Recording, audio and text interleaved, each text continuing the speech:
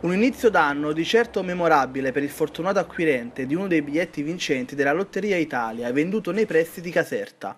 Il biglietto di serie Q numero 146948 venduto negli ultimi giorni prima dell'estrazione dell'Epifania porterà nelle tasche del vincitore la cifra da capogiro di 2 milioni di euro, quale secondo premio della lotteria di quest'anno. Il tagliando fortunato è stato acquistato in un punto vendita all'altezza del casello autostradale di San Nicola la Strada e, come ci confessa il titolare, si tratta della prima vincita nel suo centro. Speriamo che sia andata una persona che ha bisogno, perché certe volte vanno i soldi a chi ha i soldi. Speriamo che una persona che ha veramente bisogno e speriamo che gli abbia portato fortuna. Ma io penso che è stato venduto gli ultimi giorni, perché la, la serie ci è arrivata l'ultima, le ultime serie acquistate praticamente una probabilità su 8,7 milioni di biglietti venduti, che rappresentano un incasso di 43,5 milioni di euro e che segnano un più 13,5% rispetto all'edizione dello scorso anno.